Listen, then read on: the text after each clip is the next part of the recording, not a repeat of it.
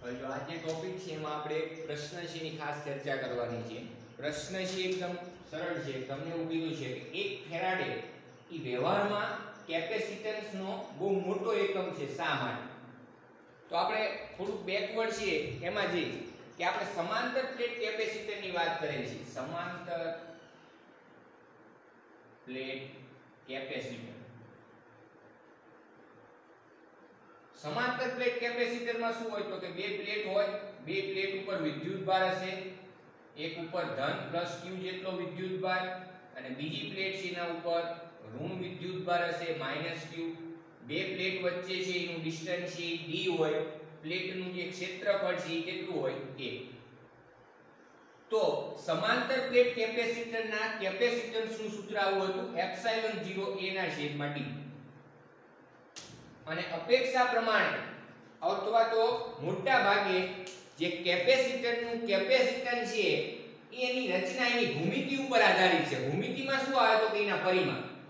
ઈ ખાસ કરીને પ્લેટના ક્ષેત્રફળ અને બે પ્લેટ વચ્ચેનું જે ડિસ્ટન્સ હોય d એના ઉપર ઈ મૂલ્ય છે નિર્ભર કરે છે.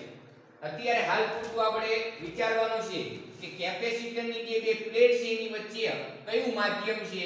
તો કે હવાવાળું, શૂન્ય અવકાશવાળું માધ્યમ. અને એટલા માટે મિત્રો અહીં જે એપ્સિલોન 0 આવે ને એપ્સિલોન 0 છે એને શું કહેવાય? તો કે શૂન્ય અવકાશની પરમિટિવિટી. હવે ઇન સિમ્પલ. આ જે કેપેસિટર છે, એનું કેપેસિટન્સ છે એ મેળવશે આપણે. તો એના માટે હું એક કિંમત લખું છું કે માની લો કે પ્લેટ છે નું ક્ષેત્રફળ 1 મીટર સ્ક્વેર છે. પ્લેટનું ક્ષેત્રફળ, સમાંતર આ જે પ્લેટ છે, એનું ક્ષેત્રફળ 1 મીટર એટલે એનો મતલબ શું થયો? તો કે હું એક પ્લેટ દોરું. જેની લંબાઈ કેટલી થાય 1 મીટર અને પહોળાઈ ઈ કેટલી થાય તો કે 1 મીટર. માટે એનું જે ક્ષેત્રફળ થાય એ બરાબર લંબાઈ ગુણ્યા પહોળાઈ 1 ગુણ્યા 1 એટલે જવાબ આવશે 1 મીટર સ્ક્વેર આ રીતે આગળ. B ની જે કિંમત છે હું 1 mm લઉં છું.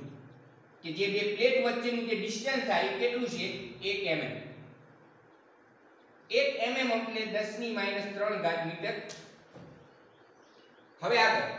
મારે c ની કિંમત મેળવવી છે, તો હું c છે એમાં સૂત્રમાં કિંમત મૂકીશ. C પહેલા એપ્સાયલોન 0 તો એપ્સાયલોન 0 ની કિંમત કેટલી હોય? એ આપણને ખબર છે. 8.85 ગુણ્યા 10 ની માઇનસ 12 ઘાત. ખાલી મૂલ્ય જ લખું છું. એકમ અત્યારે હાલ લખતો નથી. ને લખો એટલે લખી શકાય. કે ન્યૂટન મીટર સ્ક્વેર પ્રતિ કુલમ સ્ક્વેર છે એનો વ્યસ્ત કરવાનો.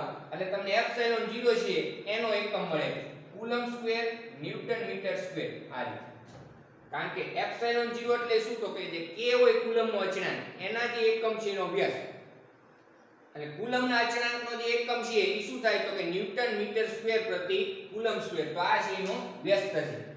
પણ કહેવાનો મતલબ શું? કે આપણે આમાં જે કિંમત મૂકશું 8.85 ગુણ્યા 10 ની માઇનસ 12 એપ્સિલોન 0 a ની કિંમત કેટલી? તો કે છેદમાં d એટલે કેટલા? તો કે 1 0.01 એટલે કે 1 mm તો કે થશે 10 ની માઇનસ 3 10 ની માઇનસ 3 અંશમાં જતા રહે એટલે આપણો આન્સર આવશે 8.85 ગુણ્યા 10 ની માઇનસ 12 ગુણ્યા 10 ની પ્લસ 3 12 માંથી 3 છે, એટલે કે 3 માંથી 12 માં માઇનસ કરશો એટલે આપણો આન્સર આવશે 8.85 ગુણ્યા 10 ની માઇનસ 9 ઘાત ફેરાડ. તો આ જે કેપેસિટન્સનું આપણે મૂલ્ય મળ્યું એ કેપેસિટન્સનું મૂલ્ય છે 8.85 નેનો ફેરાડે થાય 10 ની માઇનસ 9 ઘાત તો આ જે કેપેસિટરનું જે કેપેસિટન્સ એનું મૂલ્ય છે નેનો ફેરાડેના ક્રમનું મળ્યું. અહીંયા તમને શું કીધું છે? કે આ જે 1 ફેરાડે કેપેસિટર છે કેપેસિટન્સનું મૂલ્ય C 1 ફેરાડે. એ વ્યવહારમાં ખૂબ જ મોટો એકમ થાય એટલા માટે 1 ફેરાડે નું જે કેપેસિટર છે એ વ્યવહારમાં તમે ઉપયોગમાં લઈ શકો નહીં, શા માટે? વ્યવહારમાં આપણે શા માટે આટલું મોટું કેપેસિટર ઉપયોગમાં ન લઈ શકીએ? તો એનું કારણ છે મિત્રો, આપણે અગાઉ પણ કીધું કે આ કેપેસિટરનું કેપેસિટન્સ કોના ઉપર આધારિત છે? તો કે એની ભૂમિતિ ઉપર. ભૂમિતિ એટલે સિમ્પલ સમજો કે જે પ્લેટ છે એમની વચ્ચેના અંતર અને પ્લેટની લંબાઈ પહોળાઈ સિમ્પલ કેપેસિટરનું કેપેસિટન્સ જે અંદર સમાંતર પ્લેટનો ઉપયોગ થાય, એની લંબાઈ અને પહોળાઈ બંને ઉપર આધારિત છે. એ આટલી આપણને ખબર પડી. હવે આપણે ચર્ચા કરશું શા માટે 1 ફેરાડે કેપેસિટર છે શક્ય નથી. વ્યવહારમાં એનો તમે ઉપયોગ ન કરી શકો, શા માટે? તો જુઓ. કેપેસિટન્સ આપણે કેટલું જોઈશે તો કે 1 ફેરાડે. 1 ફેરાડે છે કેપેસિટન્સ છે, એની કિંમત આપણે જોતી છે. હું આ d ની કિંમત એક ધારી લઉં છું કે d છે, એની કિંમત છે એક સિમ્પલ. બે પ્લેટ વચ્ચેનું અંતર કેટલું છે? 1 સેન્ટીમીટર. D ની કિંમત આપેલી છે, c ની કિંમત આપેલી છે. તો આ સૂત્રનો ઉપયોગ કરશું આપણે? સૂત્ર શું છે આપણું? સમાંતર પ્લેટ કેપેસિટરનું. તો કે c એપ્સિલોન 0 a ના છેદમાં d. એમાં તમને જેની જેની કિંમત આપેલી છે મૂકશું ને આપણે a ની કિંમત મેળવશું આમ. જો a ની કિંમત. કારણ કે a આપણે મેળવવા પડશે, એ નથી આપેલા. C d છેદમાં એપ્સિલોન 0 થાય. બરાબર. હું c ની કિંમત પહેલા મૂકી દઉં છું, તો કે 1 d ની કિંમત અહીંયા મૂકી દઉં છું, તો d ની કિંમત કેટલી થશે? તો કે 1 સેન્ટીમીટર એને મીટરમાં એટલે 10 ની -2 ઘાત મીટર. બરાબર. એપ્સિલોન 0 એ તો આપણને ખબર જ છે. 8.85 ગુણ્યા 10 ની -12 ઘાત. સિમ્પલ. તમે આનું કેલ્ક્યુલેશન છે તમારા કેલ્સીમાં પણ કરી શકો અને તમે એમણા મૌખિક પણ આનું કેલ્ક્યુલેશન કરી શકો. આપણે છે એક્ઝેક્ટ જવાબ નથી લાવો, પણ એની નજીકનો જવાબ લાવો સમજજો બરાબર. તો જો તમે આ 8.85 છે, સિમ્પલ. એ 8.85 ને હું 10 લઈ લઉં તો ચાલે? આ 8.85 જે મૂલ્ય છે, એને ઉદાહરણ તરીકે કિંમત લઈ લો તમે 10 એટલે આવું થાય. અંશમાં શું છે? તો કે 10 ની -2 ઘાત છેદમાં. હું આ 10 લઈ લઉં. આ 10 ની -12 ઘાત. આ 10 ની 1 ઘાત. હું આ લખી નાખું 10 ગુણ્યા 10 ની -12 ઘાત. બરાબર. આ 10 ની -2 એના છેદમાં 10 ગુણ્યા 10 ની -12 ઘાત. એટલે 10 ની -11 ઘાત. 10 ની માઇનસ અંશમાં જતા રહે. એટલે આપણો જે જવાબ આવશે 10 ની 9 ઘાત મીટર સ્ક્વેર. આટલું આપણને ક્ષેત્રફળ મળ્યું. કેટલું? 10 ની 9 ઘાત મીટર સ્ક્વેર. હવે બરાબર સમજો. મેં અહીંયા કીધું તું, જો ક્ષેત્રફળ 1 મીટર સ્ક્વેર હોય, સમાંતર પ્લેટનું, એટલે એનો મતલબ એવો થાય કે ઈ પ્લેટની લંબાઈ કેટલી? તો કે 1 મીટર. ઈ પ્લેટની પહોળાઈ કેટલી? તો કે 1 મીટર. ઈ બેનો ગુણાકાર કરશો એટલે પ્લેટનું ક્ષેત્રફળ મળ્યું 1 મીટર સ્ક્વેર તો ઈ જ વસ્તુ અહીંયા કહી શકાય. આ 10 ની 9 ઘાત મીટર સ્ક્વેર છે, તો હું એક પ્લેટ દોરું છું, સમાંતર પ્લેટ આ રીતે. તો એ પ્લેટની લંબાઈ ઈ કેટલી હોય અને પહોળાઈ કેટલી હોય? ઈ તમે આના ઉપરથી ગણતરી કરી શકો. સિમ્પલ તો હું જો ઈ ગણતરી કરવા માટે તમને એક સિમ્પલ વસ્તુ સમજાવું છું કે આ a છે ને આ રીતે લખો. 10 ગુણ્યા દસની ચાર. સોરી દસની આઠ. આ રીતે લખાય. દસ ગુણ્યા દસની આઠ ઘાત, એટલે દસની નવ ઘાત થાય. આપણે લંબાઈ કેટલી, પહોળાઈ કેટલી મેળવવા માંગી છે અહીંયા તો સિમ્પલ હતું, એક મીટર સ્ક્વેર છે, એનો મતલબ એવો થાય, આ એક હોય આ એક એટલે એનો ગુણાકાર એક મીટર સ્ક્વેર થયો. પણ અહીંયા એવું નથી, અહીંયા આપણને જવાબ આવ્યો દસની નવ ઘાત મીટર સ્ક્વેર તો એ દસની નવ ઘાત મીટર સ્ક્વેર છે લંબાઈ અને પહોળાઈનો ગુણાકાર છે. પણ એ કેટલી લંબાઈ કેટલી પહોળાઈ છે આપણને ખ્યાલ નથી. એટલા માટે મેં તમને શું કીધું? સિમ્પલ મેં આને આ રીતે લખ્યું. 10 ગુણ્યા 10 ની 8 ઘાત. આગળ. આ 10 ની 8 ઘાત છે ને આ રીતે લખાય. 10 ગુણ્યા 10 ની 4 ઘાત ગુણ્યા 10 ની 4 ઘાત. મીટર સ્ક્વેર ખ્યાલ આવે આપણે એ છે બે વસ્તુનો ગુણાકાર છે એ તરીકે લખવો છે આપણે. હવે આગળ. બરાબર. આ જે 10 છે સિમ્પલ સમજો બરાબર. જો બુકમાં આનો ક્યાંય ઉલ્લેખ નથી આપેલો. બુકમાં ડાયરેક્ટ લખી નાખ્યું છે કે લંબાઈ આટલી, પહોળાઈ આટલી. પણ એ કઈ રીતે આવે આપણે સમજશું ખાસ.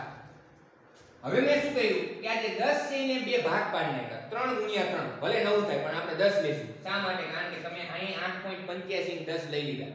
તો અહીંયા લખી શકું કે 10 છે ને આ રીતે લખાય. 3 ગુણ્યા 3 ગુણ્યા 10 ની 4 ઘાત ગુણ્યા 10 ની 4 ઘાત મીટર સ્ક્વેર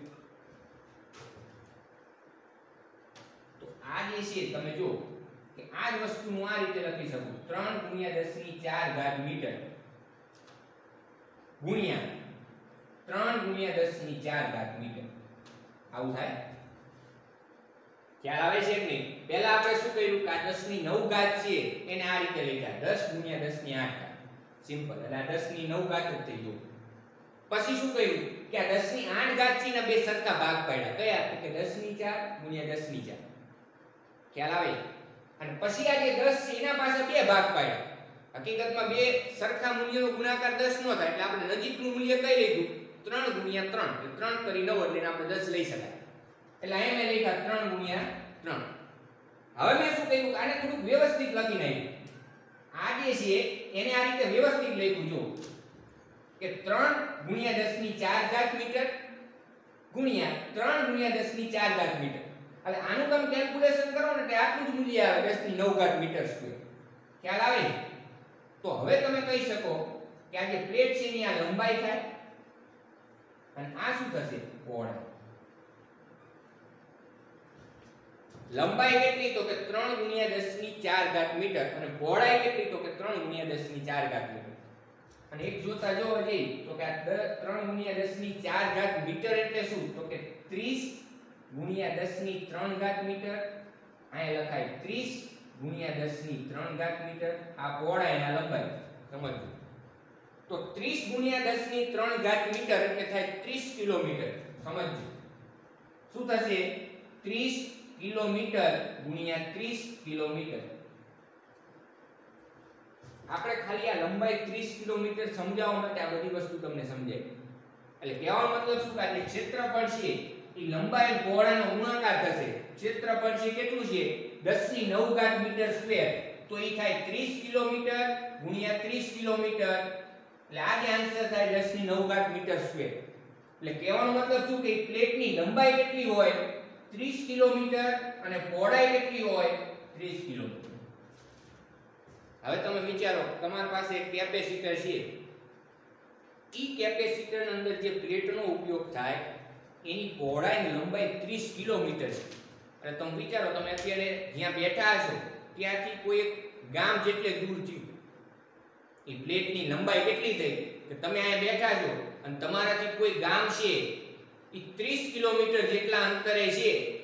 પાટડી છે, તો અહીંયાથી માની લો માલવણ. 30 કિલોમીટર જે ડિસ્ટન્સ હોય, એટલે અહીંયાથી માલવણ સુધી પ્લેટની લંબાઈ હોય એવું કેપેસિટરનો ઉપયોગ કરવો પડે. તો તમને કેપેસિટન્સ કેટલું મળે? એક ફેરાડે. એટલા માટે એક ફેરાડે જે કેપેસિટરનો જે એકમ છે, એ વ્યવહારમાં ખૂબ જ મોટો એકમ છે. એનો ઉપયોગ થતો નથી. માટે કેપેસિટરના, કેપેસિટન્સના આવા એકમોનો ઉપયોગ થાય. જો માઇક્રો ફેરાડે નેનો ફેરાડે, ખ્યાલ આવે છે? એટલા માટે જ આપણે પહેલા જે કેપેસિટન્સ મેળવ્યું શેમાં મેળવ્યું? તો કે નેનો ફેરાડેમાં 8.85 નેનો ફેરાડે એટલા માટે કેપેસિટરનો 1 ફેરાડે જે એકમ છે વ્યવહારમાં ખૂબ જ મોટો છે. એ શા માટે છે, તો એની આપણે આ સમજૂતી આવી ગઈ કે તમારે એક ફેરાડેનું કેપેસિટરનું કેપેસિટન્સ બનાવવું છે. સમજજો, એક ફેરાડે કેપેસિટન્સનું કેપેસિટર બનાવવું છે, તો એના માટે તમે જે સમાંતર પ્લેટનો આ જે પ્લેટનો ઉપયોગ કરશો એમાં જે પ્લેટોની લંબાઈ પહોળાઈ 30 કિલોમીટર હોવી જોઈએ. જે વ્યવહારમાં શક્ય નથી. માની લો એને તમારે પંખાનો ઉપયોગ કરવો છે કેપેસિટર તમે ઈ જ કેપેસિટરને પંખામાં ઉપયોગ કરવા માંગો છો. તો જે કેપેસિટરની જો લંબાઈ 30 કિલોમીટર હોય, તો પંખાની લંબાઈ અથવા એના પરિમાણ વિશે તમે શું વિચારી શકો? એના ઉપરથી ખ્યાલ આવે કે આ એક ફેરાડે કેપેસિટરનો જે કેપેસિટન્સનું મૂલ્ય છે એ વ્યવહારમાં ખૂબ જ મોટો એકમ છે. એ ઉપયોગ થતો નથી. કેવા એકમોનો ઉપયોગ થાય તો કે માઇક્રો ફેરાડે નેનો ફેરાડે આ એટલા માટે તમે જોજો, તમારે ઘરમાં જે કેપેસિટર હશે પંખા એ કેપેસિટરમાં એનું કેપેસિટન્સ હંમેશા આ એકમમાં જોયું મોટા ભાગ માઇક્રો ફેરાડે અથવા નેનો ફેરાડે એ ક્યારે ફેરાડેમાં નહીં હોય, એવું નહીં હોય 30 ફેરાડે. આટલું ન હોય 30 ફેરાડે. એક ફેરાડેમાં જ તમને સમજાયું શા માટે નથી શક્ય? તો 30 ફેરાડે એટલે વિચારો શું છે? ખ્યાલ આવે છે? એટલા માટે આ વસ્તુ છે ખાસ સમજજો. અને આ જે છે મેન કન્સેપ્ટ છે કેપેસિટરના કેપેસિટન્સ માટે.